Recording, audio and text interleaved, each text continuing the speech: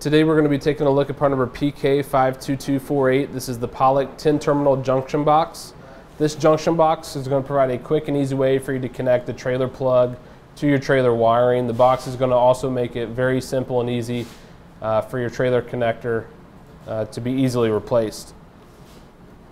It's going to feature a nice black durable ABS plastic construction.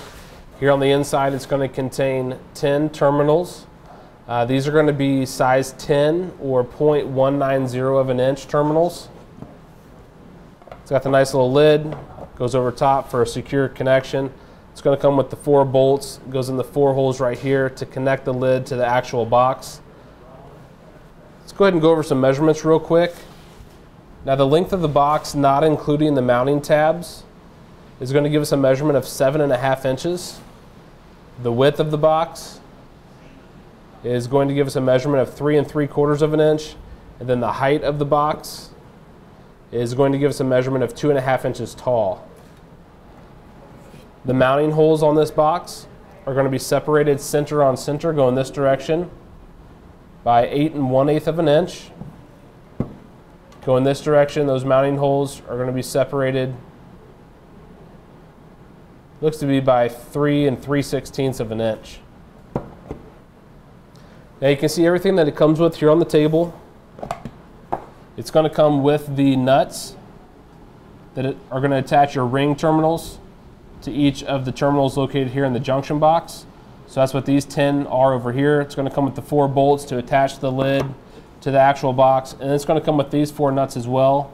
Uh, those are going to be designed to go on the backside of a bolt when installing this to your mounting location. Those bolts are going to be sold separately.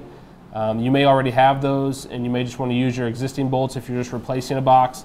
But if you don't have some, you can simply pick some up at a hardware store and uh, you can use the included nuts right here.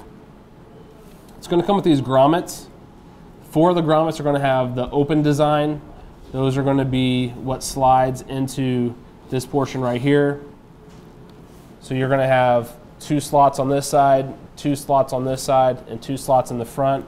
It's going to allow plenty of room for your wires to go through into the junction box, but it's also going to help in assisting uh, keeping out any dirt or grime from getting in here and causing any type of damage or corrosion to the connection points themselves. Then you're also going to get two grommets that are solid. Now these are going to allow you to cover up the slots that you don't want to use, that way nothing gets in there. Or if you want a tighter connection, if these holes are too big for your wiring, you can just make a little slit in there and uh, use it for that function as well. But it's a really nice design. Again, durable ABS construction. It's going to come with a lock nut for each terminal, grommets open and closed to protect the connection points by keeping out dirt and grime. And it's going to come with the bolts to get the lid attached. That's going to do it for our review of part number PK52248. This is the Pollak 10 terminal junction box.